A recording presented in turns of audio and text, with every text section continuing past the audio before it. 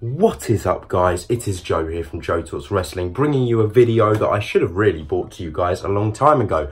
Anyways, what I'm going to be talking about today guys is basically I'm letting you guys know that if you have WWE 2K19 on the PlayStation 4 you can download guys like me, um, Zac Rowe, Bad B, all on Community Creations my creations of some of the JTW roster. I'm trying to get all of us on there. You've got other, other guys on there like Jack Edwards, Sam Tooley, people I've made and uploaded.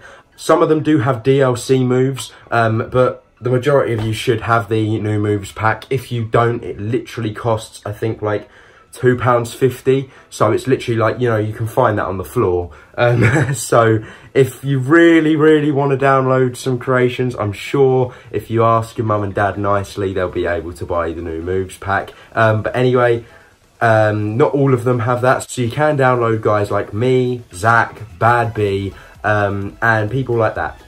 I've also done some other creations, like I made Seth Rollins' Money in the Bank 2018 attire, for example.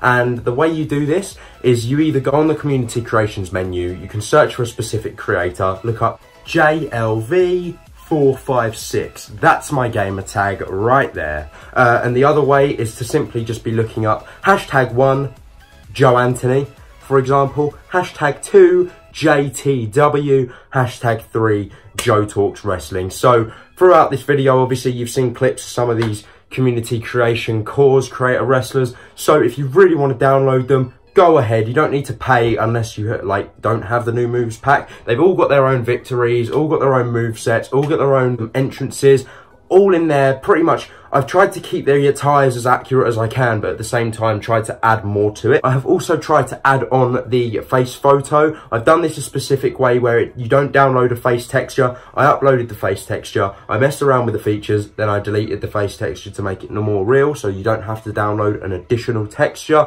Um, but anyway, so I do hope you enjoyed this video, guys. Please go ahead and download my community creation creator wrestlers. It would be very much appreciated like, comment and subscribe and I'll see you guys in the next video. Goodbye.